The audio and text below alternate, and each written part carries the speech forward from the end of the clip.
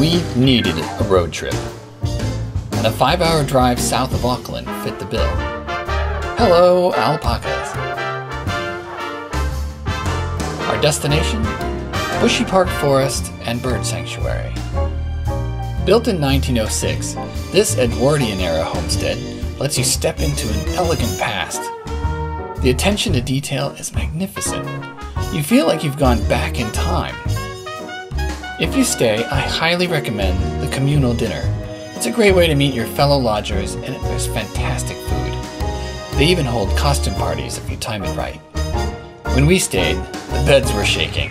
With a 4.7 magnitude earthquake, the owner came to check on us. We were alright. It was exciting. It's a long drive from Auckland, so you'll sleep well tonight in this beautiful bed and breakfast. Good morning! Wake up early so you can walk the trails of the forest sanctuary behind the manor.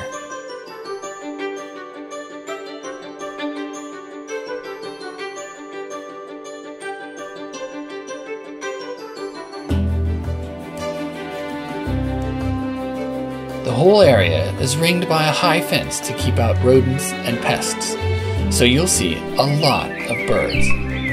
Robins, saddlebacks, tuis, and large wood pigeons.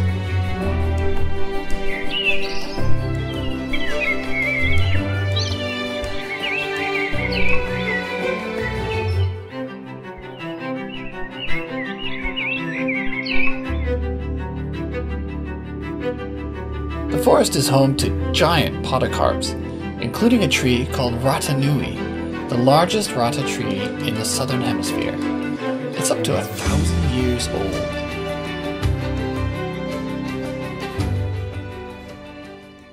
If you built up an appetite, eat at Jabies Doner Kebab downtown.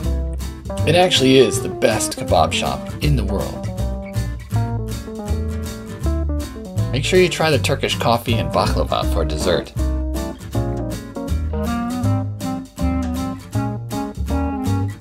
Walk it off in this quaint little town. Nearly every wall has a mural. You'll enjoy this talented, enormous artwork everywhere you look.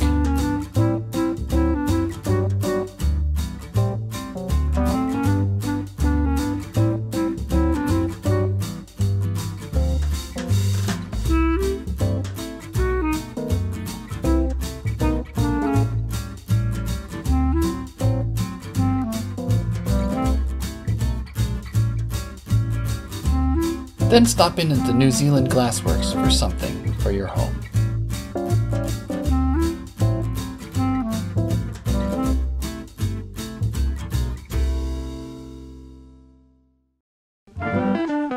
The Memorial Tower stands in memory of those fallen in the First World War. To reach the top of this 33.5 meter tall tower, your only option is the spiral staircase. It has a lot of stairs, 176 steps. You can count them with me. One, two, just kidding. Oddly, there are only 175 steps back down. Figure that one out.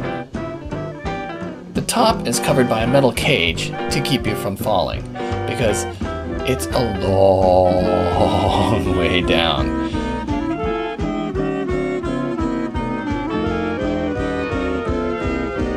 But the view is amazing. Totally worth it. By now, it has been a long day of touring, and a great way to wind down is at Virginia Lake.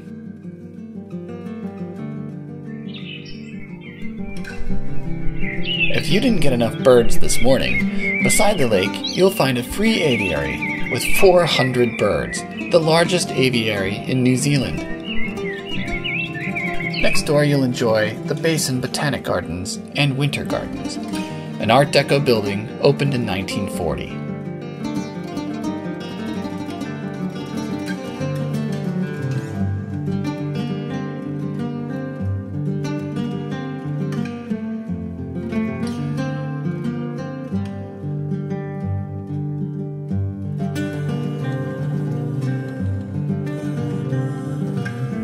Enjoy your stay this beautiful small city filled with art.